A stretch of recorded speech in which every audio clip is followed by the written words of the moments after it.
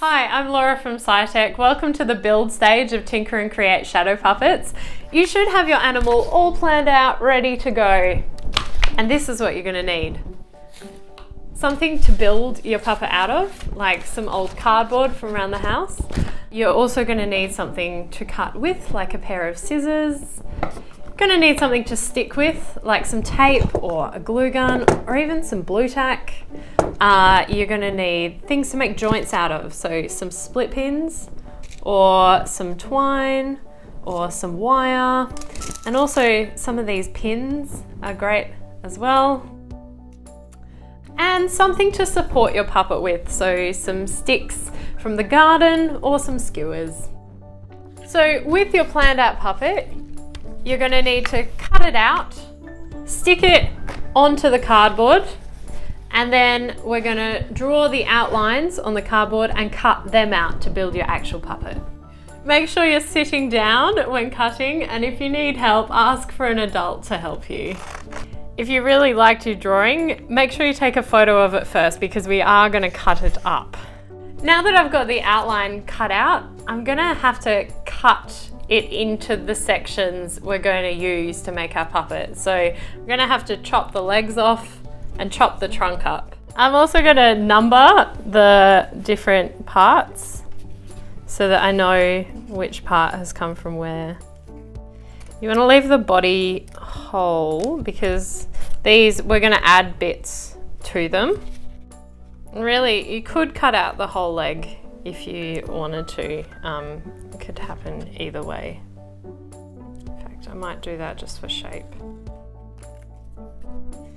Okay, so now we've got all the pieces. We're gonna stick it onto our cardboard so we can make outlines and make our actual puppet. I'm just gonna do that with Blu Tack. So I have stuck all the pieces onto the cardboard. Next, we have to make outlines.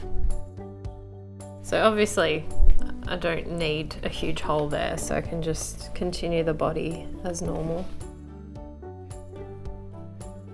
So obviously we are missing the tusks here. So what I can do is grab this and put our tusks back in.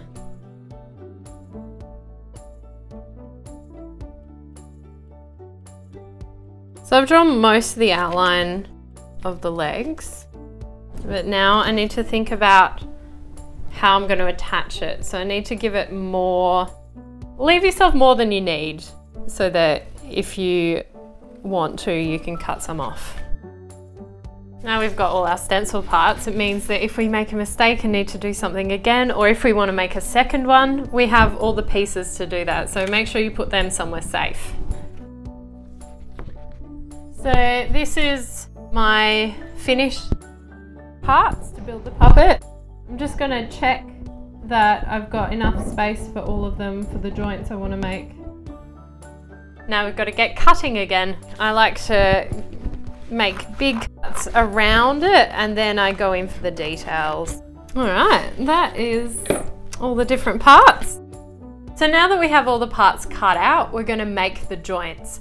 To do that, we're gonna be using some map pins and when you're using these, you wanna make sure that you're poking downwards. So it's good to have a piece of cardboard or foam that you can poke into. Always make sure you're poking away from your body and try not to poke your hands or your eyes. I'm gonna start with the legs. So you gotta think about whether you want the legs on the front or the back. I reckon on the back is going to be good for this so that we can control it easier than if it was on the front. So when you think you've got it in the right place, push the pin in and then you can see what happens when you move it. Probably want to cut off some of that thigh just so it looks a bit straighter. This stage can get a bit brutal. So I want the right front leg to not be attached to the left front leg. So think about that when you're making your joint. Yeah, so you can compare your initial drawing to what your animal looks like. See if it's working. So again, getting a little bit too much leg coming out the back, so I might just snip some of that off. So that's the walking, and then we have the trunk. Normally the trunk's in between the tusks like this, right? Kind of like that, and it sort of sits up and have the whole trunk. But then it's then it'll just get stuck in between the tusks. So we'll put it behind. All right, so there are all our joints planned out. Now it's time to actually build the joints. So I've only made one hole in each of these because I've been pretty happy with where I've been putting the pins. But if you've tried several different places, it might be a good idea to get a pencil at this point and make a mark on the hole you want to use. I'm going to start with the legs and for this kind of joint I'm going to use the split pins. With your split pin you're going to need a bigger hole than this so you can work out a way to do that. A good way is with a hole punch. So to make the joint, once you've got your holes you just put them together and then push your split pin apart. There you go. One moving leg.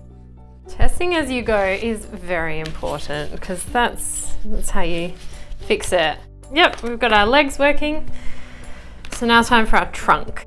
Because our legs are attached on the back, we want our trunk to also be controlled from the back. One part of our trunk. And It goes both ways. Ah. So we've got our joints all set, so now it's time to attach the sticks. You could use sticks from outside, you could use skewers, you could even use pencils. The main thing though is to avoid hurting yourself on them. Uh, don't poke your fingers, don't poke your eyes, poke downwards if you need to do some poking. If you're going to use a glue gun, make sure you ask for an adult's help. Uh, you can also use Blu Tack or some tape. So for my trunk, I think I'm going to use a nice long stick. I'm also gonna use quite a long stick just in the middle to hold the elephant up. So when you're using the tape, you want stability all the way around. Can add more wherever it needs support. All right. So I've got a stick just to hold my elephant up, but I'm not controlling any of the joints yet.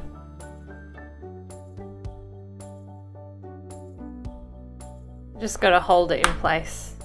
So now that the glue has set on our trunk, I'm gonna add some skewers to the legs. So I'm just gonna use tape for these. Got to decide where on the leg you want it to be to have the most control. I'm gonna go for the middle of the leg. If you have enough Blu Tack, you can just use Blu Tack, but over time you need to keep squishing it down so it stays secure. So my puppet's almost ready to test. Come back to the next video when yours is too.